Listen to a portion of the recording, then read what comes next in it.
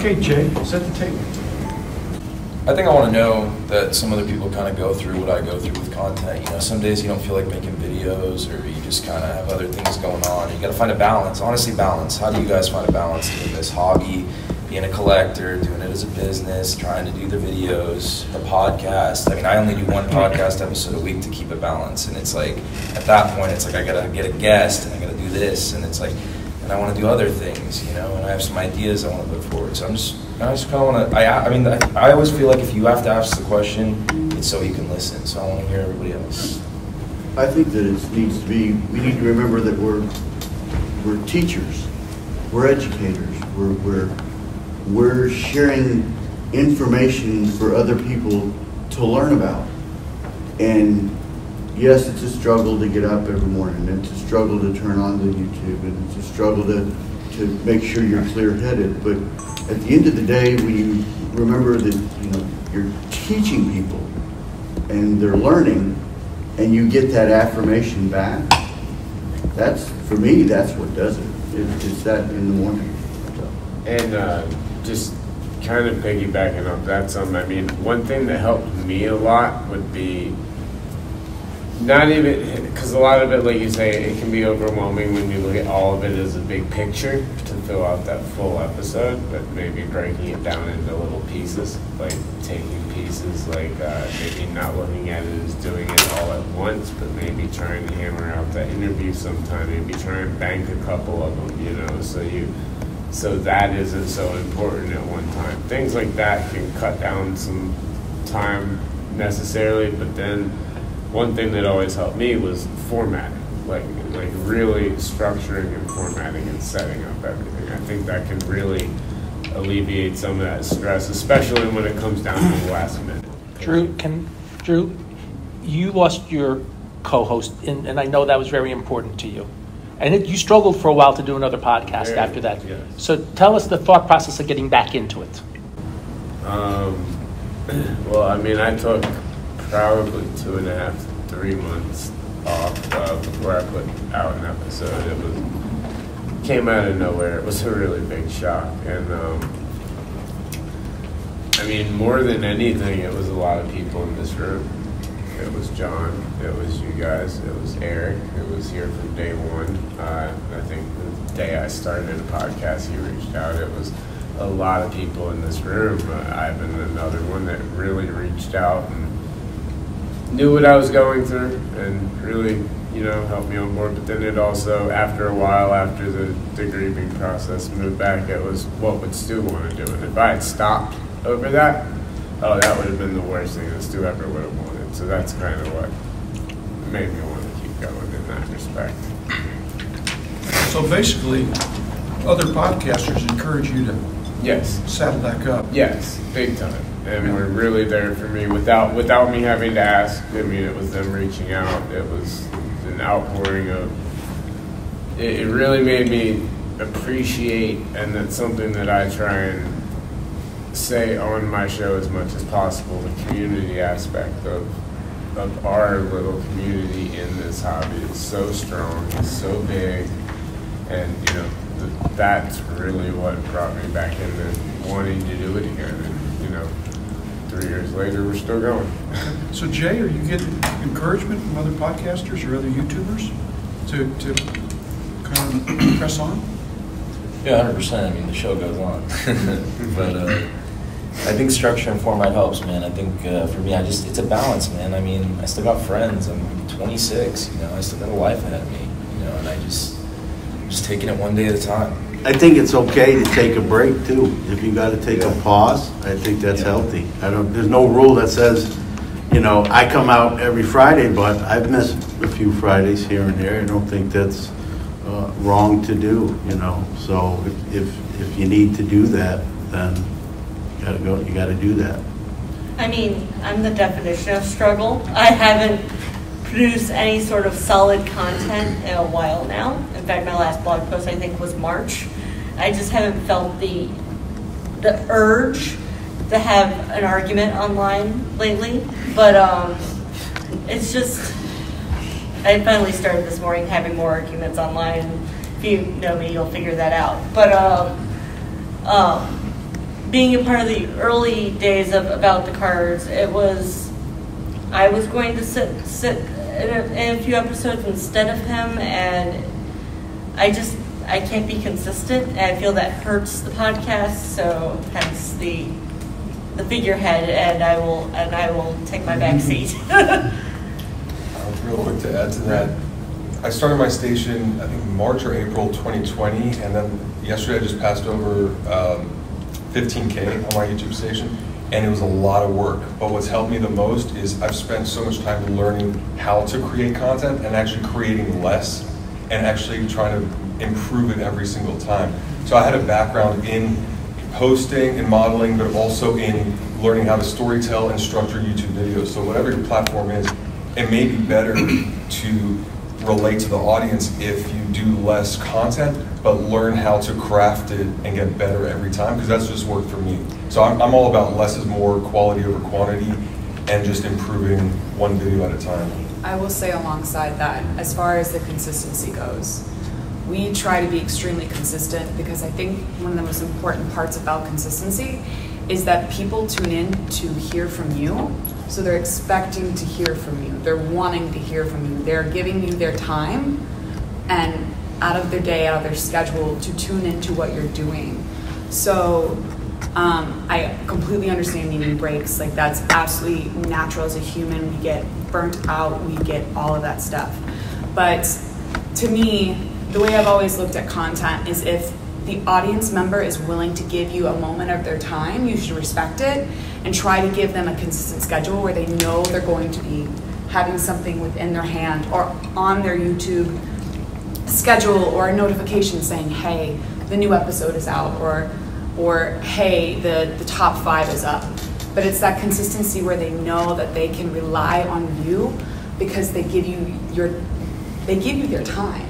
So that's just where I come at with the viewpoint of consistency. And real quick, consistency could be once a week, once every two weeks, Right. whatever it is. Right. It's whatever works for you. And I'll batch too. I'll do three or four videos and know I'm good, and be like, all right, this will be out, and then I could just answer comments, or I could just take a break and and just chill out for a moment. But at least I have the next couple of weeks taken care of. if without batching, I'd be lost. I'd like to share something on the micromanagement piece of, of content production that um, we think about like scheduling and things, but there's also this other piece of it. You know, I carry around a notepad app on my phone, and whenever I think of an idea, I just plug it in because I can't remember everything. And so then I go back and then I kind of scrub the content. I have stuff dating back from you know 2012 that I've thought about that I haven't blogged about yet or whatever, and I might figure out the right place to put it. Is it a blog? Is it a podcast? Is it a video? And over the course of a couple weeks, I might have enough content to create 10, 20 minutes of good solid dialogue. And if I can't get a, a host on, it's usually just me anyway. So, you know, you can just produce it on your phone using voice memo and then you know, dump it on your, your dump it onto your desktop and get it going. It, it- you know, try to think less about, like he was saying, quality over quantity, but at the same time, don't overthink, don't group think your, your, your content. You know, just realize nothing is ever perfect, but that's the beauty of it. If you, you can break a, all of us here, when you're producing content, you should think, am I either entertaining someone or, or educating someone? At the core of it, every one of, every piece of content we put out, am I doing one of those two things, or hopefully both? Yeah. I try to be both self-deprecating and, and be educational at the same time. And if you're if you're passionate about this hobby, it, it's going to come across. I mean that if you're not evoking that in someone else, you know, are you doing it right? You know, are you thinking about it right? Maybe just entertain, educate, right? That's think of all the channels you love to watch or listen to. They have one of those components, right? They're either educating you or entertaining you, and uh, not everybody will entertain or educate everyone else. You know, you're not going to like everybody.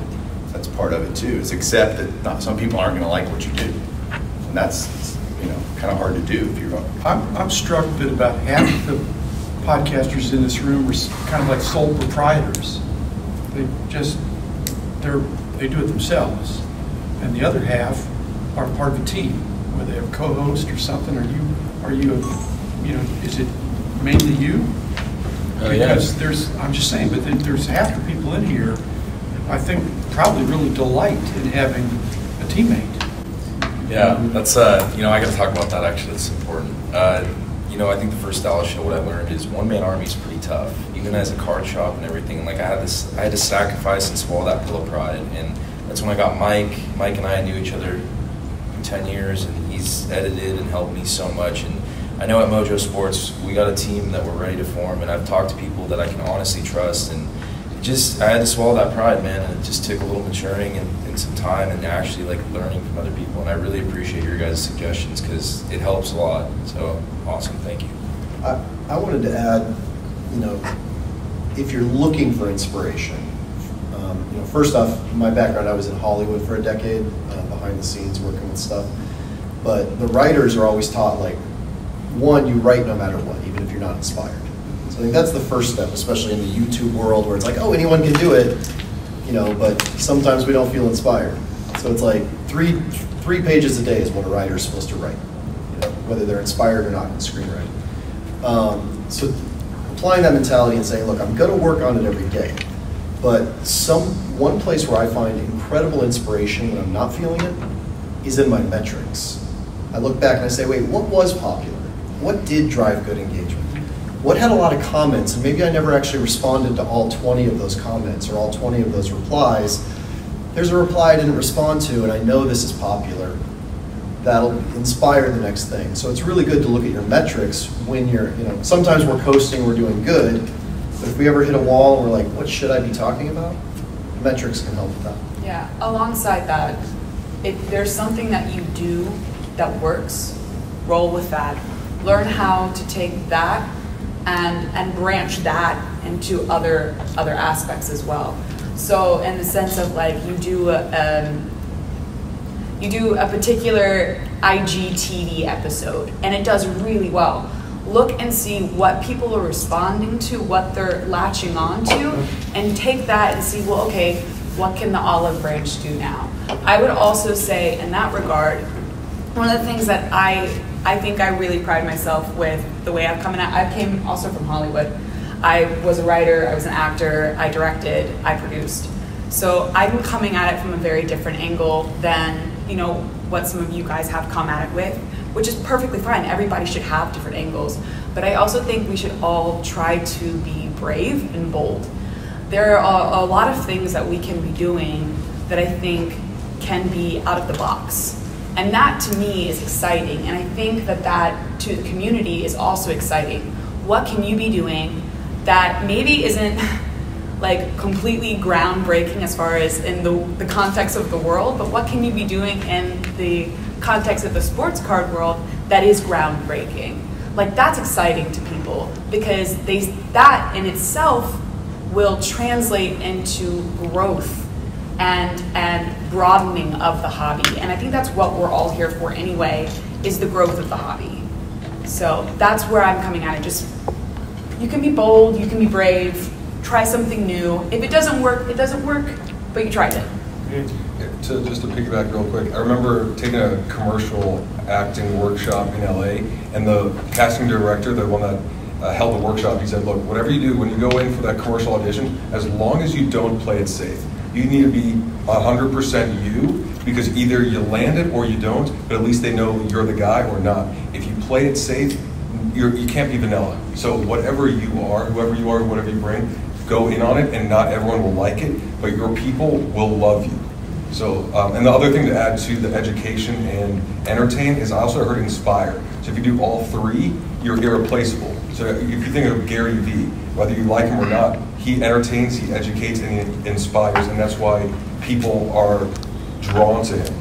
So, I mean, I always try to think, what can I incorporate of entertain, educate, and then hopefully inspire to take action in the, the card hobby, or just to watch the next video. So I want to throw something on the wall. As I look around this room, I know pretty much all of you and what you do, and, and you know, kind of where you fall. Some are more collector based, some are more investor and you're you know you do a lot of things to make money in the hobby and there's nothing wrong with that one way or the other whether i disagree with you or not. But i feel like and i've had this conversation with somebody in this room via private message and i've said are you spreading yourself too thin? And i guess i feel like some of the ones that have spoken up and have had more of the issues with you know, struggles, and then this is what we've done. Are you all spreading yourself too thin by having a YouTube channel, by having a blog, by doing six other things? And is maybe that one of the things that if you took one of those away, you know, you're not spreading your inspiration or your topics so thin, and you maybe just get it a little more reeled in, and it makes it easier. I don't feel some of the uh, ones that are, you know, is concerned about that or the more collector-based people. Again, right, wrong, and different. I, you all know I'm very opinionated, and I'm not. In this case, I'm not judging anyone, but I think it's a little bit easier. But those people that are the collector base tend to maybe only have their one medium that they're on and then others have a website, a YouTube page, uh, you know, other other uh, int- website interests and things like that. So I wonder if that kind of causes some of that lack of, you know, motivation or whatever because you're trying to put different stuff out everywhere, but maybe could you put it, just condense it just a little bit. There's a reality we all face as content creators is, look, I'm a thousand videos into my YouTube career. I'm, you're not coming up with new ideas. As much as you might think you have a new idea, somebody's done it before. And, what's that? You can always repurpose old stuff. Of course. And then reapply it to current. No, I'm know, not saying so- you can't even put a, you know, you, I have this original great idea. I promise you somebody's done it before. And the point is, that's not the point. They're there to watch you because they have connected with you at some level and they want to hear your spin on that, your personal experience with a card. Uh, Dave done videos about a 52 Topps mantle. We all know we all know what a mantle looks like. Like, I don't need to see a new mantle. I don't need to see another one. Every I can see any card I want on eBay anytime. But what he, you know, anyone, not just Dave, but anybody talks about it. That's what I want to hear. I want to hear the connection for you, the stories, the John. You do a great job of that when you tell stories too. Just put something personal with it and people are going to connect with that that you want that personal connection love it or hate it and that will create ironically the, the people that really enjoy your stuff and the people that don't connect with it and that's fine that's going to happen no matter what It's like uh, Monday morning, who are you turning to to listen to about the football games? Is it Skip Bayless? Is it Stephen A. Smith? What anchor or what commentator is the one that you want to get their take on? They're all talking about the same game, but it's their conviction and their personality that makes them special to you and makes you tune in to them versus everyone else. I have the same approach with me. I haven't heard. Uh, I have, there's always all kinds of hate coming at Beckett because that's you know I work at Beckett and well you're outdated exactly you're outdated yada, like it's, it's all the same. I just I've always tried to take the approach of, to to connect with my audience on some level. It's not going to be for everybody. It, you just got to learn to. Uh, to, to, let that roll off your shoulders. And it, it might be easier said than done, but it's just it's how it is. Jim mentioned earlier, I'm almost to 500 episodes, and that's a lot of work. It's, it's a whole lot of work, but I have my audience that I connect with. I don't worry about being first in the space or breaking news because I mean everybody that's that's the angle everybody tries, and sometimes it works and sometimes it don't. I just find it doesn't work for me. I just connect with my audience, like Mike said, and go from there. I have a really fun anecdote on that from Hollywood. Mhm. Um, I worked on a film called Confessions of a Shopaholic, which spent $60 million marketing because they wanted, but who did they market to? They marketed to everybody. You know, oh, it's a, it's a good film for everybody. It's funny, it's fun, it's fun. And the movie flopped. Mm-hmm. And then you look at a horror movie. And a horror movie's like, we need to sell 1 million tickets. If we sell 1 million tickets, that's a $10 million box office opening weekend, you know, or 20 million now. I don't know what inflation is. It's like 20 million is enough to make our money back on the $2 million film. Hmm. And horror fans go to see horror movies, you know? So do you want to be the rom-com that's trying to get everybody and actually costs a lot more money to try to get people to see it? Or do you just want to be, this is me, you know, I'm this card collector, I'm this personality, I'm, you know, I'm investment focused, I'm collecting focused. I think it, there's so much more power to being in your lane and not worrying about the fact that there's a show that is the exact opposite of you. Mm-hmm. And people watch that too. Okay, time's up on that one. Well, Patrick, that was your question, right? The- Or your comment about transparency? Yeah, it's something about, uh, as I mentioned, blogging about something I don't own but I want, and then all of a sudden now I have to pay quite a bit more for it when it surfaces because people read my blog post. So I'm okay to do that. I've been doing this a long time, but because I'm passionate about the content, it's more just I don't really know if there was much of a question there. It's more just you have to just accept that what your content is about might produce a monetary value of something that you still desire to be much uh, might manipulate the, the, the, the value of something you still desire because of the I'm content producing. back To uh, a version of FOMO that is FOMO forever. That you're never going to see this card again. If Right. I'm never going to see a card, I don't think I'm ever going to see it, and I'm Patrick and I want that card, I'm going to I'm going to say, hey, I really want that card. Yeah. Okay, if it's a run-of-the-mill card, you're probably going to see, and you tell people you want it, and a lot of people have it, they say, hey, here comes Patrick. He's the one that's going to pay extra for this card. So, so FOMO forever means that's a legit FOMO. I'm never going to see this again. Rich and I, when we go through the national looking for type cards that we've never seen before, if we've never seen it, if Rich has never seen it, I've never seen it. It doesn't exist. So, so, so the FOMO aspect is, if you see it all the time, FOMO is just trying to regulate your greed or your, or your, or your, your wallet. That I can buy it now before it goes up, but it might not go up, it might go down. If I tell people I want it, that might make it go up, but it might not. But it might give me access to that card, which is the other benefit it, to that. So Because it's not worth doing if it's a common card. No, no, no. Typically, the stuff a that I would really talk tough about is card. yeah, yeah. Net, net, I would, I would tell people. Right. In fact, especially in the social media world, there's, there's random acts of kindness. Right. You're just as likely for somebody to come up and say, hey, Patrick, uh, here it is. I'll tell the story in a different way. Eight, eight, when I was setting up at the Nationals in the 80s, I remember this father and son coming to my table the second day and basically buying every oddball Hubie Brooks card I had. They scoured the show on the first day looking for Hubie Brooks cards, and then the second day they, they said, We're hitting your table, you have more than anybody else. They understood that the odds of any of those Hubie Brooks cards selling were slim and none, and Slim had already gone back to uh, Plano. And so, but if they're looking for an 88, let's say, a Pebble Beach Joe DiMaggio card, which is one of the very first signed cards, it's not certified, but it basically is certified. Uh, There are six people in the set, and they're all signed from 1935. If they saw one at that show and they didn't grab it, somebody else would have immediately. And that's and that I think is an extreme point, but that's I think the point you're making too, to some extent. This happens a lot to us with our Ryan Eades collection. He is basically a minor league pitcher. and even though he didn't even have a job in 2020, one of his one of ones was being sold to us through eBay for $700. Because there's literally only us that's going to buy this card, and he had picked us out, and he's like, I'm going to make you pay, and it's still sitting there. See also Andrew Shaw. So, so to your, I have this same issue with uh, 59 Topps Ringside Bron- Marciano. It's a card that I have wanted for years, and I could have bought it a, few times, but I, I never pulled the trigger. And I and I'm not saying that I spoke about it and it shot through the roof, but I spoke about it, and then the next day it's it's two three hundred dollars more than what it was, and I was like, well, now I've kicked myself in the foot because I want this card. I'm not going to be able to. I'm not going to buy it at that price, especially when it was the, the price before it was the day before. You know, And it's it's a it's a horrible catch twenty two that you play.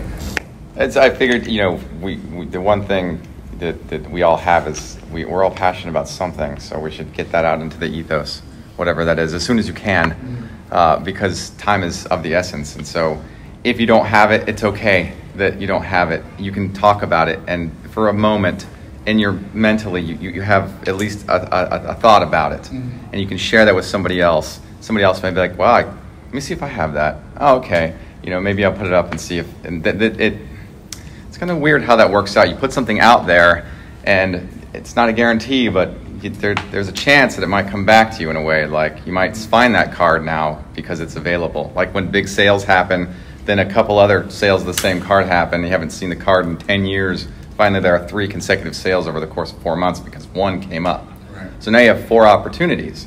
And so that's, that's actually, I think, the, the one benefit that's not a guarantee, but just the, the thought of knowing that if I talk about this now, there might be a chance that I'll see one, at least see one, hit auction over the next whatever if someone reads this and they have it. So that's that's kind of a nice thought.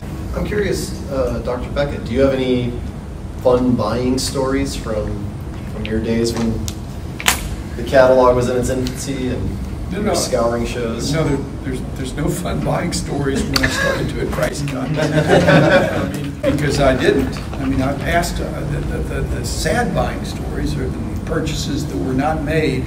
I'm looking at a table where, you know, we're tracking to see what cards are selling for. I'm looking at a card that's dramatically underpriced. It would be a steal, and, but it's, you know, and, and I just walk on by. And that's hard. That's hard, especially if it's Roberto Clemente. So, no, so it's, it, it didn't like that. You know, I, I think Rich and I, when we were going around, the thrill was in seeing something we'd never seen before. And you know, that in, the, and it, we're mainly talking about 10 or more years ago, 15 years ago. The prices weren't, if, if you'd never seen the card before, you know, maybe it'd be a hundred bucks.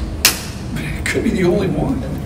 Well, our dear, my, my dear friend, and you know him too, Arizona Hank Reeses. Yeah. And he's, he set up the last two shows here, and he had some ABA set I had never seen before.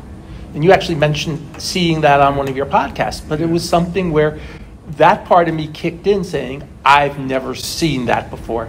And he actually was carrying Sanchez's old basketball card price guide from 92 saying, these are the mistakes in it. This is when it really is, just to show how long it's been ex- extant and to show it. But it was something you and I, I don't remember we ever seeing before. And it was exciting to see something, and that was from 25 years ago, and it kicked in to see. That's interesting. I've never seen that. And there's and there's you, Logan. You do a lot of obscure NASCAR stuff, and so do you, Val. And I'm sure you have that same feeling when you see. Yeah, the 1972 STP cards are some of the cards that we really look for all the time. And With all this going on with the hobby now, and the price increases, we've seen probably more of those cards in the last four months than we've probably seen in the last four years. And of course, the prices have gone way up. And There've been a couple that I've needed, but just, I can't pay that price. I don't know if it's because that I put content out on those. Um, before that, there's, they were in the price guide, but no history, but we've been chasing them for the last 15 years and things that we've learned, people we've talked to, that I put on the podcast. So uh, the stuff is starting to come out with the 70 STPs, like you said, and escalated quickly. quickly. So Petty was like 200, now 15,000. And I haven't really heard anything from our House of Jordan people after the introduction, so I'd like to, I'd like them to say something if they feel comfortable. I don't know. uh, ratio pricing. So that, this is like the Richard Petty thing. I mean, that's, it, it, it was dormant and nobody brought it out. Now it went up. You guys have algorithms that uh, suggest that this could be priced at this level because it's related to another player, another set, another, another something in a similar condition or in a lesser condition.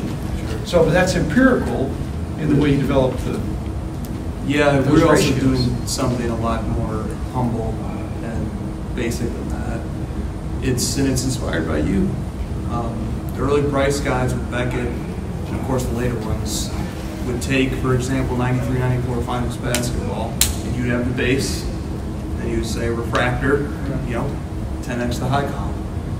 And so similarly, um, in today's market, we have more precise data points and we have dates on them. So one example is we've talked about the LeBron Topps Chrome PSA 10 a little bit tonight. Uh, thank you, Gary. Bring it up once more here. Uh, that card, historically, uh, it's actually, from the empirical point of view, pretty remarkable, is held at a 5x multiplier to the refractor PSA 10 analog to it. Um, now, does it always hold? No. There can be variation. In fact, there's there's quite a, a deviation from the historical correlation right now. It's, it's quite different. But the concept that uh, movements in one market can trigger movements in another is, from the data point of view, compelling. From the collector's point of view, potentially useful. Uh, from the seller's point of view, bad or good, depending upon which way it's moving in, in your direction. Uh, sometimes it can be precise, sometimes it isn't. Um, And then to Dr. Beckett's point, when you start getting into uh, cross-player comparisons or even cross cards, um, you know, a lot of times it just doesn't hold up. If, if there's anything that's really humbling in trying to do data in sports cards, it's how often projects like that utterly fail uh, to, to have any predictive value whatsoever. Uh, the science of prediction, uh, science in general is uh, methodologically based on prediction. And the extent to which you can specify variables and then in advance and say under these conditions, if these variables hold, then the consequence will be X. The likelihood of that happening in sports cards is modest. When it does happen, it's very exciting. When it doesn't, it's humbling. Back to the drawing board. Anytime you're dealing with human behavior, uh, anytime you're dealing with economics, uh, things that are influenced by irrational and rational decision making, uh, well, you're you're in for quite the ride. Uh, so, but but ratios, relationships between prices, between players, between sets. Um, the, the shrewdest collectors, of which I'm not, but the shrewdest get ahead of those those movements, and they see, oh, okay, people really like uh, the PMGs or something. So maybe Prism Gold is next. Why? What are the similarities? What are the benchmarks here that we're looking for? So I don't know. Does that talk to ratios a little bit, Dr. Beckett? You know, but I mean, even even within the same card within a grade, you know, the, the, there's not a one size fits all ratio of a 10 of something to the 9. If you just look at PSA, you know, but even within the Beckett scaling, there's there, there's not a fixed multiple, but there are some guidelines based on types of cards, how difficult they are to, to gem and all that. So, and you guys are tracking that. So if there's enough data, I think you're doing a lot of the same things too. So the only problem is the tracking is from the past, and you know the spread between a nine and a ten is is gonna is gonna float, and it could get less, it could get more. It's not going to stay the same over time. But you guys are going to track it. And savvy people are going to see, hey, the spread is shrinking on these cards. Maybe it's going to shred, uh, shrink on these others. That's making nines look like a, a good deal now, especially strong nines that are have great subgrades or better IP. Oh, and while that's true, I'm a data analyst in retail, and you can say the same thing in retail. You know, your past performance is no indicator of your future performance. So no matter, you know, it's not just there are multiple more, um, what are this, what am I trying to say, variables than there are in maybe what I do. But yeah, you, you don't know because, take for example, like I said, I work retail, COVID. You know, You that's. didn't have that in the model? We did not have that in the model, yeah. I could not predict that X category was going to literally sell out in one week. Um, so, I mean, at the end of the day, I mean, while perhaps imperfect, it's a hypothesis. It's an educated guess based on the what you've had, and it's no different than in a retail or basically any other setting.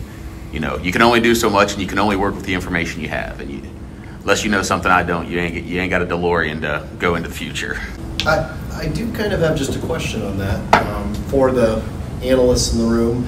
Um, is there a weight that you give to certain things? Because I know, like you mentioned, pop reports earlier, uh, you know, being an indicator, and they are. But we've also seen silver prisms. You know, the pop report is nowhere near the indicator as much as just popularity and recognizability. Um, you know, spreads between nines and tens. Like in your personal systems, do you have like a weighting class where you say like pop report is 15% of the value versus overall iconicness? You know, the, the spread on this card is heavier, you know, it's, it's heavier on superstars or it's less heavy. But that varies from optic to select to, you know, every other one, because you can look at it at a category level, you can look at it at, a, you know, a secondary level, and you can look at it at a granular level. Um, and then it's reflective upon, you know, take again the things of off seasons. We all know when do you buy, you know, ideally when do you buy? You buy in the off season. Um, so there's just, I mean, yes, you can weight things. And again, I'm not talking about what they do because honestly, I got no idea what the heck y'all are doing. Well, y'all are acting like it's, But you know, Josh, speak up. I mean, basically, he's, Josh is letting the data do the talking. Yeah. He's not deciding it. He's, Yeah. Well, I'm referring to the future where you were saying that, you know, it's kind of the same in every aspect of any kind of data analyst analysis, whether And then you look it's trading the- cards or retail. the pop report and when PSA's backlog is starting to catch up, you're all of a sudden seeing, well, it was pop two yesterday, it's pop 35 today. Where's the sub-report? That's Yeah. What's what's going to be sub? And, and on a different type of analysis, Eric, you and I were Beckett Price Guide analysts at one point. So you have a different way, how, you know, without divulging the secrets, you know, what, what were you do, you know, what were the diff, some of the different forms of things you were doing to help produce the price guide? I would just email Josh. um, you know, everybody asks that question. I don't know how much I can divulge there, so I'm gonna have to.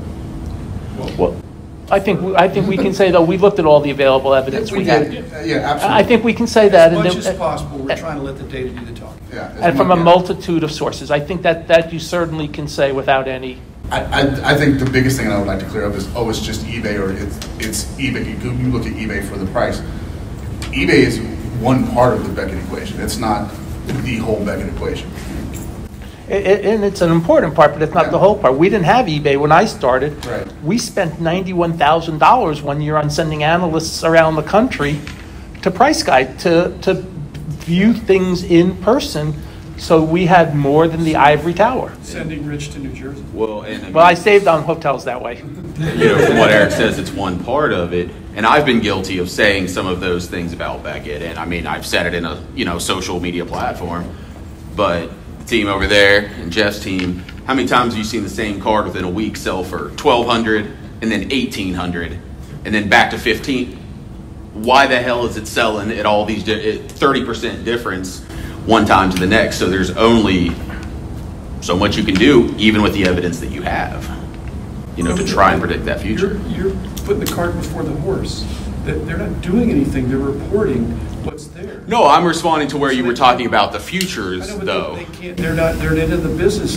The pr- future is only, here's the graph, and it- if it continues, this is what it is. But it's, that's why it could be 12, 18, 15, it can bounce around. It's not their fault. Sometimes I'm guilty of not saying what I'm trying to say. I'm actually in support of you guys and just saying that those eh, there's just so much because you had talked about some of the things yourself and you were just like, I don't know. And any, I was just kind of getting at any level of retail or anywhere that you you analyze data. There's always that element of the unknown, and there's yeah. I, I, I apologize. I was trying to actually say that you know it's not just in cards. It's it's everywhere. Anybody that does any kind of data analysis. My apologies. Yeah, we, we just weight the actual sales on the actual dates, going back to all-time sales history as much as we have. So we'll pick like three dates in time and prices to ratios of similar cards as close to those dates and- as dates as we can get, and then we map the ratios to each other, and then we pick as many of those going back as far as we can, and then we weight those and average those out, so that you're just getting closer and closer to reality as far back as you can go. So the You're- all-time You're history- improving as you go. Yes, so each new data point we get where they sell within a certain range of each other, it's now improved and it's getting closer to the actual value. And we can't measure things like popularity in sets over time because you can't measure people's emotions. Let's, let's stop there. Brad, why don't you lead it off? Sure, I think that was a good follow-up question because I feel like when you see that the more educated you get, the more success you have either as a collector or an investor, I would imagine you have a better time and you're less likely to get burned. And maybe you lose a bit of money on a card or you don't buy at the perfect time, but at least you're getting smarter every week and every month. And I know that that's helped me invest more and collect more and just be more enthusiastic. But especially as content creators that put in a lot of effort and we want people to enjoy the hobby because it's it's fun when people comment on your videos saying, "Wow, uh, thanks so much. I've learned so much from you." That's very fulfilling. So how can we keep that person keep that person's momentum going throughout the next wave, whatever that may be? Well, any the- any specific? No, but the challenge is to keep it going, not in a bull market, Mm. but in a mixed market, that some things go up and some things go down. That's, that's going to be the challenge going forward, because I think that's the new reality. But hasn't the market always been that way? Especially when, now that we're back to normal player performance, where people are having good years, or people like Luis Robert and Eloy Jimenez are out, basically out for the season. So the interest in their cards decreased, but Vlad Guerrero Jr. is having a really nice year, and people are now looking at his cards again. So aren't we on some levels really getting back to a normalcy? No, With, what's different now, and, and, oh, Mike left, he's a, he's a financial guy. You know, the, the swings are wilder now. Things go up faster and they go down faster, and that's, so it's a different market. But it my- but my point is- yeah, it is different in terms of- down, But they go way up and way down.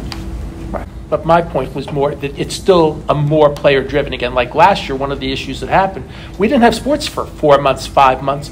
Nobody went down because why should it go down? Because you're all banking on the potential. Now that we're seeing what's happening. And that's one of the differences too, that we're back to a normalcy we didn't have a year ago. I go back to the way up and way down. It goes back to the whole there's more information out there quickly. Like even like five years ago, I wouldn't have have a laptop sitting in front of me at this whole thing. It would be a piece of paper, or you'd be getting your box score still from from a printed paper that is now like 12 hours too old. I mean, and only had limited data. Now you can break that down instantly, pretty much through multiple websites on how somebody's doing by the minute or by the pitch. Advanced statistics. So it, it, it causes bigger rises and falls. I think one of the key things about, you know, just going back to this core idea about how to keep people in is really keeping people engaged and making them. One of the things I've learned a lot inside this industry and outside um, is come up with ways to make people feel like they're part of the content. Make make them feel like they're building that with you. And that kind of goes back to Jay's point earlier when he was talking about community. It really makes people feel like they're kind of building this brand and this community with you, and it's really hard to leave something like that. It's hard to leave something that you feel like you're really a part of, and then encourage people to find what they want out of it. What you know, find what you like collecting, and it may not be, it may be the most the weirdest off the wall thing, but that's fine. If that's what you like, focus on that, and then help them, you know, get there. So in in whatever ways you can, find out ways, you know, to just increase engagement and you know, fi- find ways to let people feel like they're part of the content.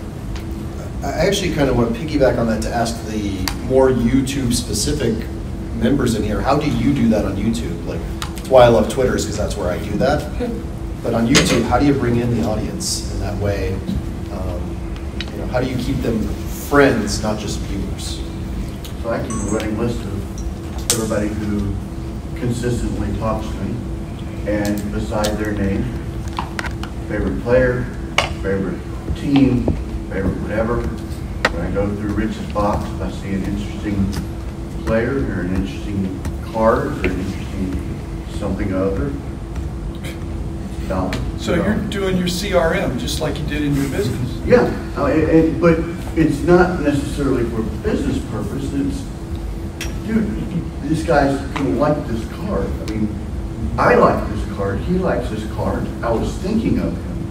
So, of course, being in engagement, I'll say, hey, card's on your way.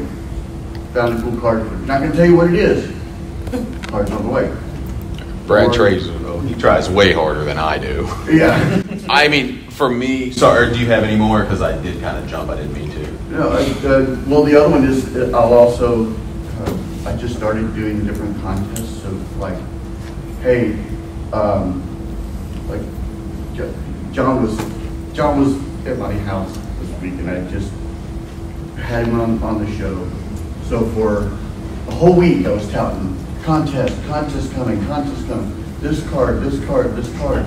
Well, by Friday, everybody's like, okay, what's the question? Who was on the video? Something really simple. I probably got the most comments that I've ever gotten. You're welcome. No, I'm just kidding. Well, what I was going to say was, I apologize, I do not remember your name, but what he was saying about making everyone feel, you said YouTube? I reply to every comment. Yeah. You know, and that got beaten into me by Mike, who is no longer here because he talked about it a lot. Even if it's somebody new you don't know, or they say, you know, thank you. At the bare minimum, thank you. But like every aspect of our hobby, whether it be the bloggers, the twit, the Twitter folk, it's all cliquish. You get your little group of 10 people, 15, 20 people. Nothing wrong with that. But those people, okay, they get a paragraph reply because they were, you know, they gave me a paragraph. And we talk and, and those things and that's I mean, and that's a slow burn on gaining. I mean, they're, you know, the, these are, you know, people that are not going out necessarily trying to buy follows or just following everybody to get follows back, which I've done that in the past, so whatever. but in general, just replying to everybody, making them feel a part of whether it's a podcast and they're repl- responding to you on Twitter because you shared your podcast. Hey, John, love this.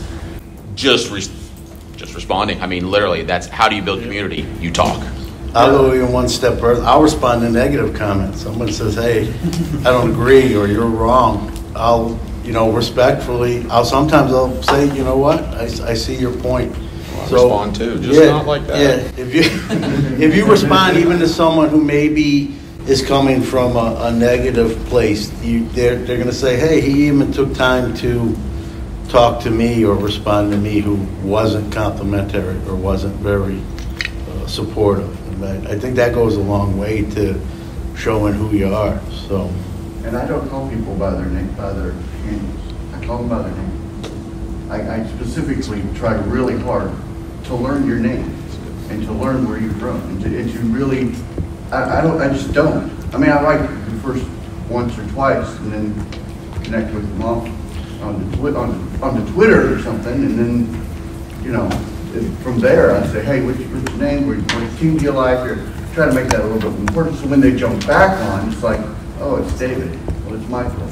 Oh, it's Ken. We don't respond to Ken. But everybody else. Something too I want to say is that um, you know we're all attracted to interviewing like the, the heads of state in the hobby, but what about the normal guys? When I got started doing interviews in 2016, I just interviewed another Frank Thomas collector, and he just we he, I had met him the year prior, and we just got on and bantered for like a half an hour. It was great, and then put that video online, and now he's like part of that. He feels like more part of my channel, and you know he doesn't own a company. He's you know he's he's like the rest of us. We're just normal people, so it's like kind of cool to have to reach out to just people who are listening to your blog and they're just regulars on your, your, your they're regular viewers you know and, and it's nice to showcase them because they're special too. Everybody is right? So um, pick a random viewer and, and be like hey want to have you on for talking about your collection or something. That's helped me and it's i think they like that. I've had some good response from that. To build on his point, I'm sorry. And, and I- I'd agree with that. That's something we try to do on our show is if you have something interesting or, um, I mean, we've had someone who has like every Hitcher card autographed by the, living anyway, uh, that, that are living signed their card. Um, we had him on for a quick few minutes. Really interesting dude, really interesting collection. Um, it, it was not Tracy Hackler, Panini, or George Carlin at uh, Protect. Love it, love both of those. George, George Carlin. He's my favorite comedian. I'm horrible with names. I'm sorry. Um, y'all knew who I meant. But uh, that's the thing, you know. Uh, we try to bring on the regular people. We always ask for questions of what content do you see that you want to hear talked about, or what do you guys think about thing that we saw, to drive them back to interact with us and get to know other people better, or who are some new people in the hobby that you like and what reasons do you like them for, and we'll go and check them out. Maybe invite them on. So. Real quick, one thing that's worked a lot on YouTube, and I forgot the threshold, if it's a thousand or a hundred subscribers, but live streaming is amazing. Because live streaming is just, here I am, here are your comments, I can put your comments up on the screen, I can talk to you one-on-one, and now I'm building this interaction without writing a script, editing a video, doing all of that, and it's, nothing builds community faster on YouTube, in my opinion, than live streaming. And I just forgot what the threshold is that YouTube allows. Is it a thousand? Okay, but it's amazing. I mean, it's great because you're like, oh, I just have a live stream tonight. Hop on. What's up, guys? Da, da, da, da. And then, hey, good to see you here. You're always in the house. How's it going? Da, da. And you're just interacting one on one with 10 people, 20, 50, 100, all at the same time. And then when you're done, it's done. is to not discourage anyone. I think it's a thousand if you're using like a device. If you're on your actual laptop, it's I don't know that there even is a minimum because I can stream live and I've got less than 500 So, but I know like on my device, I couldn't do it. I couldn't stream this right now because I've only got. I think we're at eight seventy-six. Yeah, I just wanted to, s- not to discourage anyone. It's a little lower if you're on a laptop or something. You know, another way also is building out either like a Discord group or a Facebook group. So and people are always going to be asking questions in there. They're going to be talking to you, and you can go out there and answer those questions, engage with people all the time. It's real time feedback, and just like the comment sections. You can always go out there with that.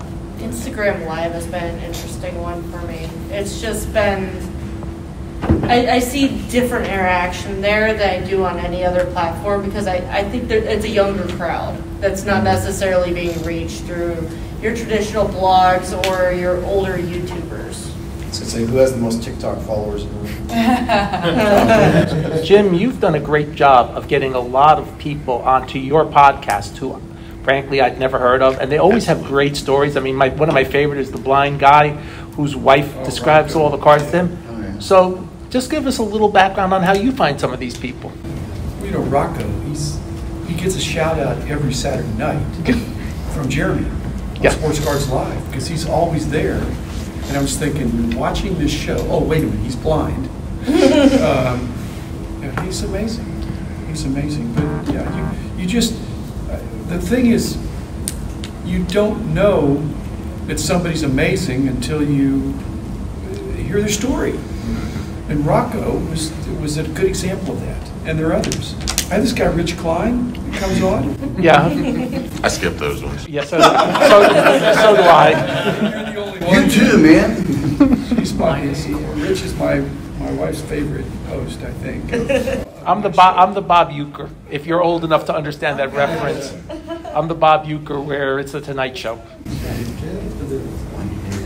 Eric, didn't you have something? Yeah, I was just gonna say, um, to build on, uh, Ra- I know you was Ratty, I'm sorry. Ratty cards. Yeah. Um, to, to build on his point, being in the position that I'm in, working at the company I work in, sometimes I am asked to interview heads of state or whatever, you know, we're in the card industry, but I get much more enjoyment personally out of interviewing the Twins collector who has, you know, a, a Byron Buxton's collection. And I, would- I would much rather talk to that person. So finding enjoyment in what you do, uh, speaking to you directly, Brett, I mean, you, sometimes you just have to do stuff that you just, you just don't want to do, but you bring those, you bring those guys back uh, by following up with something that you can clearly see the enjoyment in. I have a lot of those interviews where I've faked my way through it. and, uh, but then the next episode or the episode after that, I have you can there's pure enjoyment in, in that episode on, on and there's a connection on both ends there. But then there's And mix of. and Didn't you have something you wanted? Yeah, I was gonna just follow up on that. Uh, so as an editor, like a lot of people come up and say what's up, and like we kind of get a small clip of it.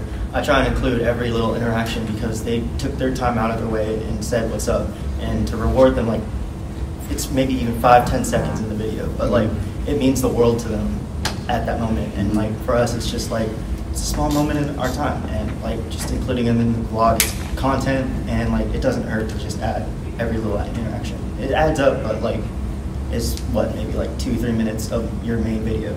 Yeah. Something I'll add to that is like you guys will see in our day one, day two, day three vlogs. It's a lot different when I walk around the show anymore. I'm set up and we're like doing deals, but like all these people are coming up like, oh, like you know, I want to show you LeBron, and they come up and they show it like, hey, we saw your vlogs, and they like, you're right. Someone hit a home run tonight, man. You wanted them to feel a part of, man. You gotta bring them in, and like that's what we. I mean, dude, everyone's come up to us and they're like. Man, we love the content, and then they'll bring that cool card, and they'll tell a story, and like I'll just smile and like talk with them. But where are you from? Or we'll see a kid, and we like put a stack of cards this big, and we're just handing them out, handing them out. We're not filming each one, but like we're just handing them out. And then we had the dad, you see the dad turn. I'm like, oh, that was so nice. And like when I was a kid, like you can go get blasters and all that stuff, and like it was fine. But now it's like you know, it's in, like kids can't buy cards anymore. I can't buy cards anymore. I yeah, dude, it's like, and it's like the, the bigger picture here is like, I almost try to not make it about me anymore at these shows. I try to put them into it, you know, and that's like they're part of the story. You know, you'll see in the in the vlogs this time. It's cool. But kind of going from kind of what Eric said, you know, enjoying what you're doing, but going back to something that Ivan said earlier. Okay, those of you that know me, I'm not a fit for Jeff's show. There's nothing wrong with that. but I am have been with Eric multiple times. I've been with Steph and his team. So there is that level of we know there's no secret that there's a lot of people doing a lot of different things in the hobby. So, you know, if you are more of a collector folks, you know, do you need to have those heads of state and vice versa? I'm not a fit for a lot of the folks in here and there's abs I have no problem with that. I understand it. I understand where I what I kind of what area of it I'm in. So that also, you know, don't alienate your your core audience. your core audience. That great. That's yeah, what I was trying to say. By uh, you know bringing on somebody that really just doesn't fit, just doesn't fit your typical core audience because you are trying to. Every channel is trying to, at some level, put together their own community, and you want to continue to appeal to that community and not have them click that unsubscribe button. Uh, getting Ken on a positive note is a good. it's late. Thank you very much. So I guess for me, the fear is that it's not always transparent. Um, you know, an, an, example that's a little transparent is there was a gentleman who was posting a, an in, like a card picks to Instagram of like, here's the three best cards of this guy to invest in. And someone found, but it was not transparent, his eBay account but someone found it and said, you know, it's really weird. You put their best card, their second best card, and then some really random card, and you happen to be selling that random card under eBay every time yeah. it happens. But now with consignment, with PWCC, with COMC, with you know accounts that don't have names uh, on social media, it's like, you know, I don't know. So I guess I'm just asking at least of the people in this room who are all here because you know none of you are, you know, literally looking around. None of you are the ones that I can think of four examples of this in the big hobby. And none of, none of you guys are examples that I've seen do it. But like, what is our responsibility? But at the same time, how do I go out and buy my Diego Rossi rookie cards without them going up? Here's what I do. I keep an eye, I keep my ear to the floor on what everyone's talking about. If they're talking about it, I'm not buying it unless it's like super, super specialized PC. I'm talking like number to fives, number to ones, things I'm not going to see again if if they're talking about it. Um, and then I wait 30 days and see what happens. And when those people are now dumping these cards because they've realized that they don't like them, now is my time to go and look for these cards that I've been looking for. Well, and so, so being, being super transparent, um, the, the, three guys on my podcast all have very distinct. We are fans of this team. We collect these players. We are fans of these players. We collect them. So a perfect example from earlier this season, Akil Baddoo. Huge opener of the season, hasn't done much since. Started with the Twins, now with the Tigers. I'm, I was not looking to pick them up in April, but now that they're cheap and available, I'll pick them up for my set needs on the show, uh, we're pretty consistent about this is what we're looking for. Clear as day, hey, we have some of these, these are available for sale. We're never you know, behind the scenes saying, well, no, everybody should buy this card because it's the hot card, and oh, by the way, I bought 100 of them, they're currently on eBay. That's just not something, for the most part, we don't, really don't even resell. Um, but we'd like to be very transparent of this is what we have, this is what we've recently picked up, this is what we have available for sale so that everyone knows. I think some of the onus falls on, on people in general. I mean, you, you, I've never bought a card because someone else told me to do it. Yeah. Um, you know, it's the old to blame the gun or, or, or blame the person, right? So if I buy a card, I didn't listen to someone to tell me to, to do it. I just, you know, I was born sort of being a sports fan and, and following the sports is why I got into the hobby. So I'll give them a I'll give those folks a pass that are saying that. You know, someone tells me jump off a bridge, I'm not going to jump off a bridge. So are people influenced easily? Sure, but who, whose fault is that? Where does the blame uh, fall? That I think that's even more of the, the question. I mean, that's America. You can last I do, unless it's hateful or, or illegal, you know, you can say kind of what you want. Well, it's a free market, right? So, like, it's really up to the buyer whether or not they want to educate themselves on what they're buying or not educate themselves on what they're buying. I've seen a lot of fake cards sell for huge money.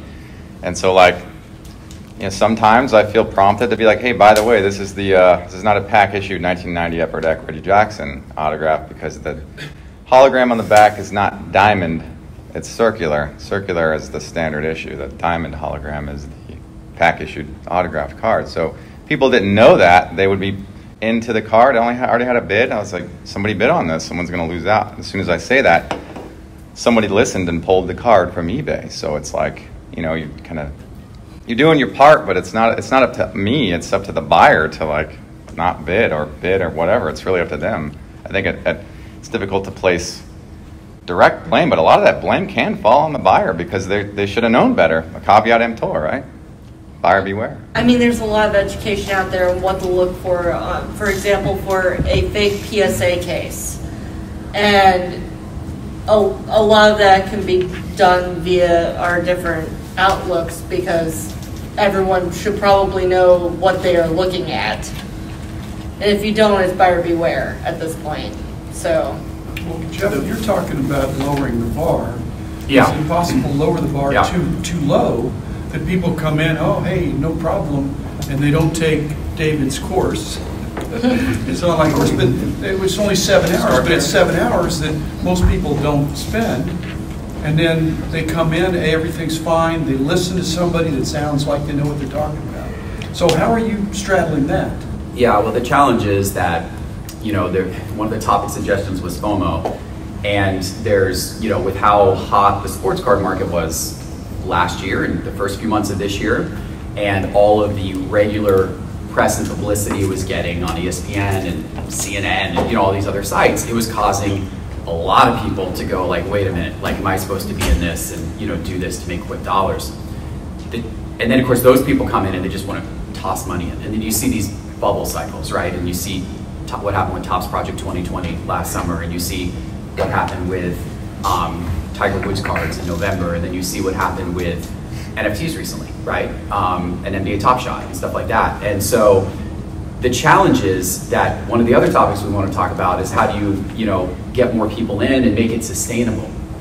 And if they come in, and if you just put all the onus on them to be like, well, buyer beware, yeah, but if those people come in and have a bad experience, they're not going to come back. They're, they're going to get turned off, right? They're going to they're going to get burned because they listened to the card pick and then the card was in a bubble period and then it crashed on the other side and people make, made money off their ignorance. And it's that's that's a tough thing. Now, at the same time, how do you how do you police it? Like, what do you do about it, right? Like, it's I, I don't know. It's a tough thing. It's you know we we try more and more to repeat the message in our content around education, but it's it's uh, it's a tough challenge. I, I don't know exactly what the solution is to it, but it's I definitely feel like there have been absolutely been people that have come into the hobby over the past 12 months that have gotten that have had really bad experiences because they've come in at the wrong time. And I bet there's a whole bunch of people right now that bought cards on February 12th, 13th, 14th, 15th, 16th, and 17th that are in bad shape right now because that, you know, un, you know, Jim, let me ask you. Beckett Magazine was famed for never doing investment advice. And at the time, you had by far the biggest mouthpiece in the hobby, uh, producing more than a million copies by 1993 each month. How, you know, you, it really wasn't that much of an issue. Did you really even have to think about it, or did you just say, we're just going to go this way and just Well, it's, it's not the right thing to do, you know, and basically you can't, it's, uh, people are born self-interested, okay? But there are boundaries that society puts up, says, you know what, this is okay and this is not. Well, Ivan, what you're saying, it's not okay, but it's not illegal.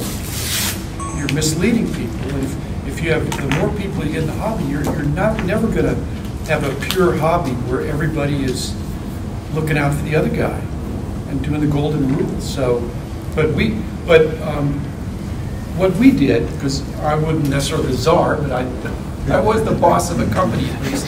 And so the, the, the people on our team, they just, you just have a, a cut and dried rule. We're just not gonna, we're not gonna give investment advice. We're not gonna be dealing in cards and things like that. I kept it simple because otherwise you get into gray area.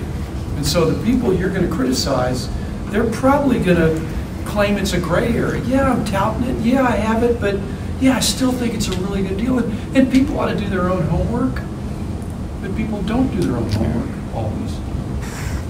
And so, you know, of course, if they listened to every podcast in this room, they would have no time to sell and buy cars. Maybe it just comes down to a disclaimer. You know, you have to constantly rotate the disclaimers. Like, by by the way, we're we're we're not here to tell you exactly what you should how you should spend your money. I know, but these It's guys just- that are touting, Yeah. they could say that, it- like the, uh, like the, um, the cigarette warnings, at the end, or the the bad pharmaceuticals, uh, the side effects, what they're they're real fast at the end. You know, it's, it's, uh, people still hear what they want to hear, and it's such, and, and what Brad was saying, they're master storytellers in many cases. They're, ti- they're tickling the ears. Well, and it's also, it's not always just shilling. You know, So that example I used in the picture, he literally said, hey, I'm buying these. Does that mean he was sitting on a bunch and shilling them, or was he actually buying them and he doesn't care if they go up 50 bucks because he's worth 300 million dollars? But Maybe he just likes the card too. You know. Well, exactly, but it impacts the market. Right. You know, it vastly impacts the market, you know, um, so I guess I'm just wondering like where, where our responsibilities lie. And I mean, in Gary that Vee's as been doing that consistently for the last year and a half. I mean, he's, what opinion are you gonna have on it? But he's not a fly-by-night. No, he's He basically is doing I- it and doing it and doing it and doing it, and are people telling him to stop? No. I personally think it's fantastic, and Because I he's was. gonna have a track record. And to be quite honest, you wanted to, when we talk about the market dip, I, I think part of the market dip is that Gary Vee in February shifted his attention from sports cards to NFTs. And honestly, I think that's part of your market dip. Good news is the other day he tweeted he's buying Topps Topps LeBron LeBron or you know Chrome cards and that he's going to be at the National. So I'm like, all right, that, that that NFT launch for Gary was a little rocky. So we're past that now. I don't know. So I'm kind of thinking maybe he's going to come back over to the card world a little more this summer and things could go up. But I mean, but yes, it, it's that type of thing, right? But I don't know. It's tough. The one thing I, you know, so one thing that um, I will say has advanced a lot in the last year, thanks to Card Ladder and some of the work that you know we're doing and others, is access to data and information. And I have had the theory that if you can get people access to market data and information and make it more readily accessible and easy to access, then that educates people and that allows people to make smarter decisions more quickly. Look what happened to the stock market. I mean, Robinhood with what Webull Right. and all those other apps that Yeah. entered the whole Yeah. whole sphere with all that information, mm-hmm. and now all of a sudden your neighbor's now now selling random stock. Yeah. And, and, it- and, and in the card world, the downside, the access to information, is now Card Ladder and us. We're now targets for people going on eBay and, and placing fake bids on, bids on items and then not paying for them. Because they figured out that eBay doesn't report that information back to us. So we don't know if that sale's legitimate or not.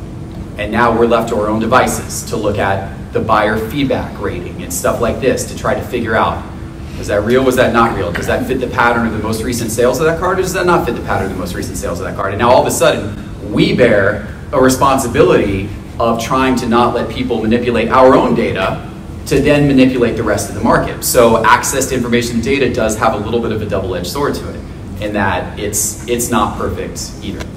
Okay, we're kind of out of time for that one. Ivan, last word on a positive note. Can you wrap it up? Um, on a positive note, I sincerely don't think that anybody in this room is on that list of pumping numbers.